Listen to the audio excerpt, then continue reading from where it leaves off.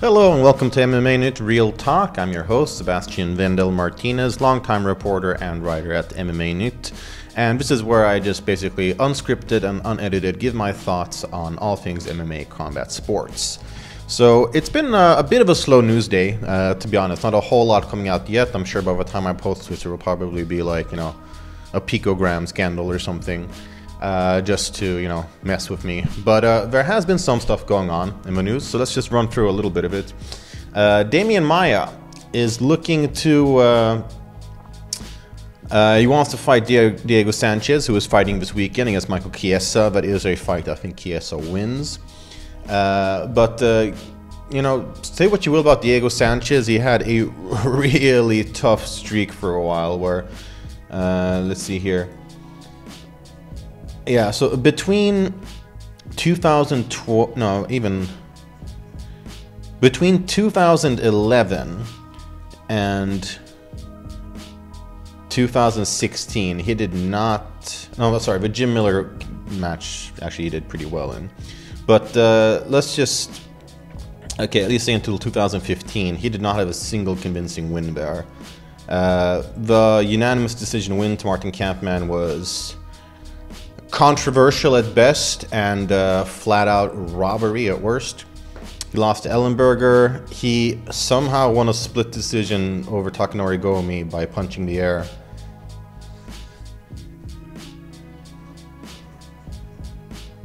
I thought I was gonna sneeze. there it came.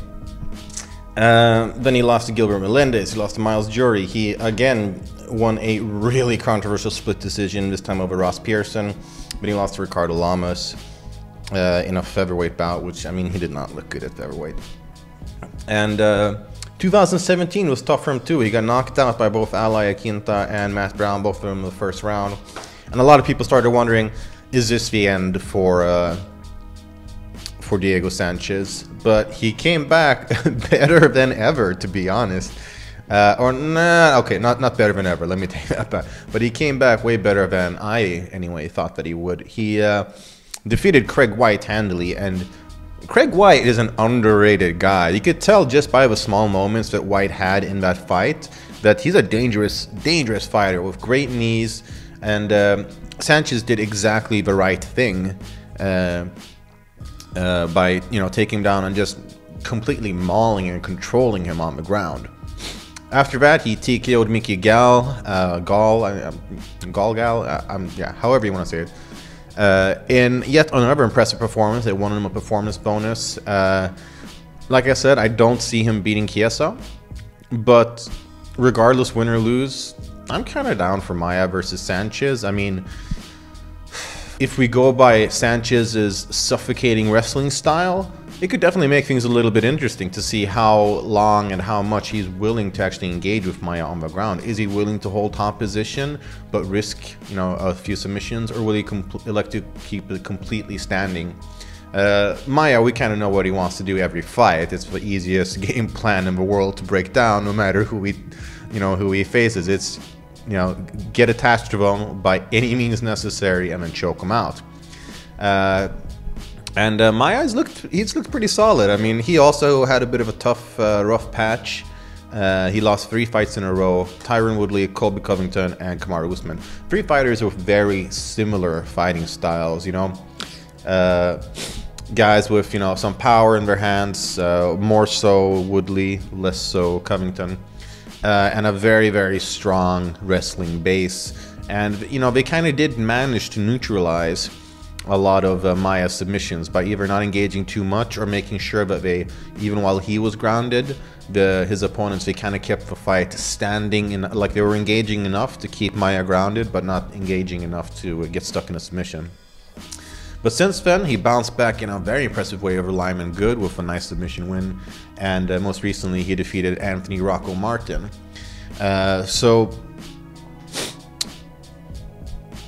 so for my for my money, I mean, why not? Why not? I mean, Demian Maia, he's he's one of those you know just good guys in the sport. Uh, real a real martial artist. You know, he he's always a guy. You know, he's gonna play by the rules. He's gonna he's gonna take the fights the UFC give him, and and he's just gonna go out there and do his absolute best, try to submit the guy. I'm, I'm really glad that he came back to his roots because there was a little while when you know fans were calling him K1 Maia when it's like he decided to just kickbox with everybody, and it, it wasn't that great. like fans were loving it when he went back to his grappling roots. Uh, so for my money, Sanchez versus Demian Maia. Demian Maia's you know last or one of his last fights in the UFC. He's not sure if he wants to keep fighting just this year or next year as well, but he will be retiring sometime next year. Uh, and I say, yeah, you know, why not? I think that could be a fun, fun fight. So moving on to the, I guess, kind of main story. I, I, wasn't actually planning on, on making a video today, just simply because it's been a little bit of a slow news day. But a good buddy of mine, Jim Edwards, uh, who used to work for MMA News, now he's for uh, Fighters Only uh, and his normal day job. Uh, Darren Till uh, gave a lengthy interview. It was like 40 minutes long. I would highly recommend watching it.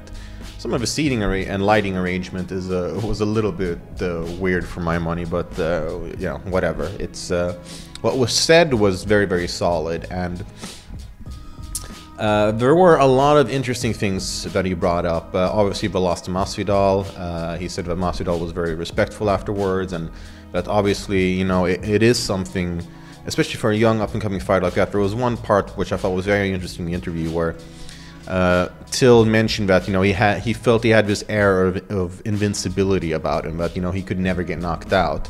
And that he might have gotten a little bit overzealous in the fight against Masvidal. I mean, obviously he did great in the first round. It was close. You know, he he he hit Masvidal with some really hard shots. But that sort of realization that kind of makes me feel like you know despite a two fight losing skid never being a good thing in some ways the loss or the setback could be a good thing for till's overall development as a fighter uh, perhaps taking a few less unnecessary risks perhaps not getting a little wild and uncontrolled uh, uncontrolled and um, you know perhaps being a little bit more more technical with his fighting uh, it was very, very interesting. He talked a little bit about uh, Ben Askren, uh, Mike Perry, and of course the Tenerife incident where uh, he was involved. Uh, obviously, you know, the Daily Mail is like a like a scandal paper in, in the UK. So when they sort of were the first ones out with the story, it's we everything had to be taken with a little bit of a grain of salt from the way that Till describes it it was definitely not as dramatic as it was made out to be. He said he was at like a, a, bachelor party and they were kind of horsing around in the hotel room and you know there was some stuff thrown about but they said that or he said that it wasn't like they were trashing the room much like the reports first said but like any good you know scandal newspaper that, that it would obviously be the way that you want to to write your headline uh, he said that regarding the whole like taxi Grand Theft Auto thing, uh, that it wasn't actually him that he showed up to the scene when the car was found, and uh, the police recognized him and they brought him in, and so it was a very interesting uh, interview. Uh, I guess the biggest takeaway, if you're gonna go completely black and white, is that yes, he is planning on fighting again this year. So that brings us to now that Darren Till is, you know, he's making it sure that uh, he he wants to return 2019. Who can he fight? Well, it's a little hard to say with any certainty because neither us or Darren Till himself is completely sure on exactly when this year is going to be coming back. I mean, he's still got a couple months. So it was announced that Colby Covington is going to be fighting Robbie Lawler uh, for UFC Newark, the main event, and that is a fight that I kind of expect uh, Covington to win. Uh, I just think that you know he obviously won't be taking any risks versus Lawler, who you know just hits like a truck. Uh, now, the way I see it, if Covington comes out on top there, then Darren Till versus Robbie Lawler would not be a bad fight. Uh, the only thing that it would perhaps have going against it would be the fact that if that is the case, then Robbie Lawler would have lost uh, one, two, three, yeah, three, no, sorry, four out of his last five. So we might want to give him somebody a little bit lower on, on the totem pole. Uh, he is currently ranked at uh, Robbie Lawler. That is, he is ranked at uh, 10th place, whereas Darren Till is ranked at number six. Uh, we've got Rafael Dos Anjos taking on Leon Edwards. There has been uh, a lengthy back and forth between Darren Till and Leon Edwards, a, a, pretty respectful one, but more sort of like a local UK rivalry type of uh, uh, spat. And uh, the way I see it, whoever loses that fight, they're a pretty good candidate for for facing Darren Till, because whoever loses, if it's Dos Anjos, he's gonna fall down in the rankings.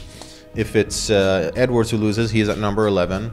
And I, I just don't feel that you know we should throw Darren Till right in against a top five guy again. I, I say give it a little bit of time, let him sort of work his way back up. Uh, Dana White has been you know very clear and open about uh, his opinions, saying that he felt that maybe they. Uh, you know, they handled the stuff with Darren Till too fast. And that, that's a little bit, uh, Darren Till, he touches a little bit on that as well in the interview, which is uh, very interesting as well. Um, aside from that, uh, the one fighter that kind of does stick out to me as a as a possibility is uh, uh, Elizeu dos uh, Elizeu Zaleski dos Santos.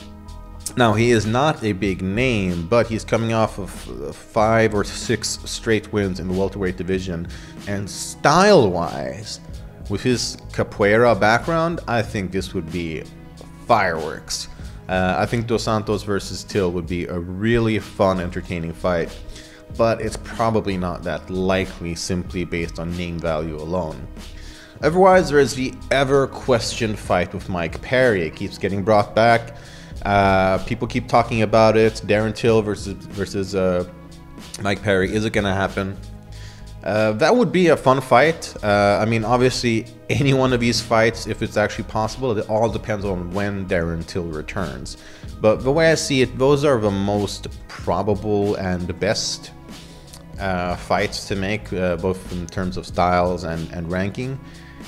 Uh, if you guys have, you know, a different suggestion of who Darren Till should fight when he gets back, instead of just calling me a retard whose job I can't do as good as Chael Sonnen, let me know who you guys think uh, would be a good return fight for Till in the comments below.